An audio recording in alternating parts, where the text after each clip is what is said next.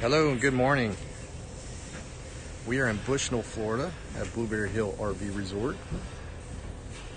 Bit of craziness going on in the world, right?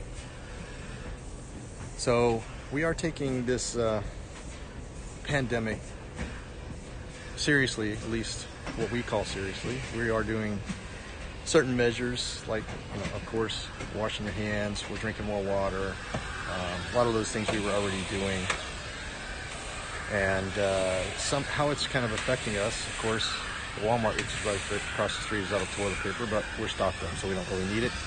Um, not really affecting us that much, besides just the hysteria.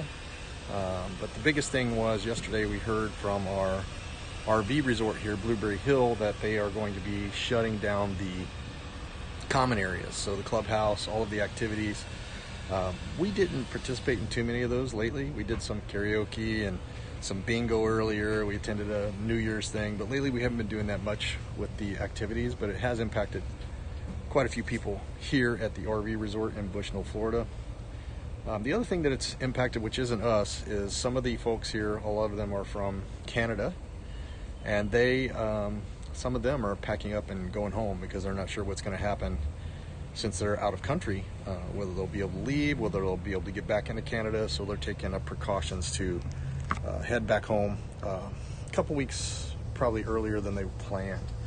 Um, what we're going to do today is we're actually not going to stay inside. We uh, we're going to take a ride on our motorcycles. We might leave our helmets on. That'll be our Corona masks all day long. We've got the full face full face helmets, um, which aren't real common down here. A lot of uh, no helmets in Florida, a lot of half helmets, quarter helmets. And uh, we're going to go ahead and go to Seminole, which is where Chris bought her bike. And she's got some questions about her bike, some things she's going to do um, there.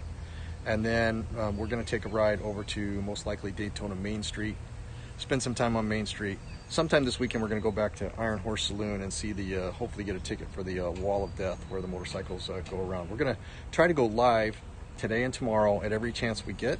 So hit a notification please on our channel. Subscribe and hit that notification bell so when we do go live today, which will probably be three or four times from Daytona Main Street, from the hotel we're staying at at the Speedway there. Now, the Speedway, we weren't going any of the races, and that's probably a good thing because the races actually for today and tomorrow have been postponed until October's Bike Fest. So, um, the good news about Daytona, they haven't really canceled much of the Bike Week festivities because it's all outdoors. So people are just going around as you would if you were in a town, um, you know, visiting that town. Not really large single event gathering, but uh, more of a spread out gathering. Uh, we may step some time on the beach as well. So um, we hope that we can share some pretty good footage today from Daytona and let you see. There's Don. He went to Daytona yesterday. Don, come on in, buddy. So you guys have been here before. This is our first time, but you guys went to the main street yesterday, right? Yeah. And was it different than has the coronavirus affected it? You think? Oh hell yeah. So it was. There's a lot less people. We were actually able to walk up and down Main Street without bumping into people. Yeah. Yeah. There were signs up too. Um, there were certain dis- places that were closed due to the virus. There were some? on Bike Week. Yeah. Yeah, the Indian dealer uh, on Main Street, Right.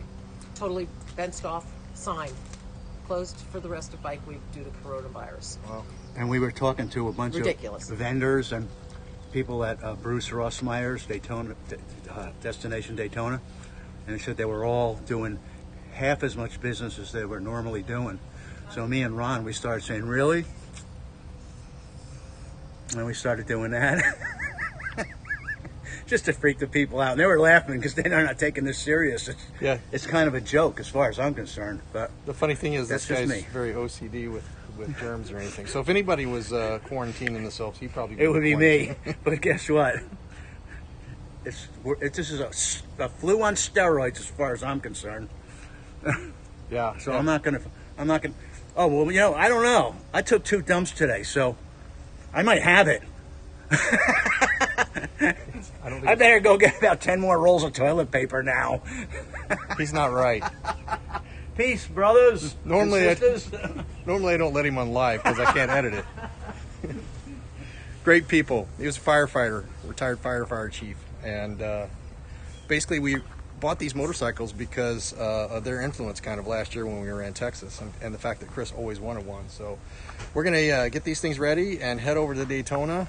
And as I said, stay tuned. We're going to be live uh, quite a few more times this weekend and um, let you know and let you see how it is during Bike Week during this uh, kind of weird, crazy pandemic times. So uh, again, hit the notification so you see when we go live. And uh, for those of you that are tuning in and maybe about the Mad Gab, we were doing a Mad Gab contest this month. Uh, the last week and a half, I've been traveling a lot for business.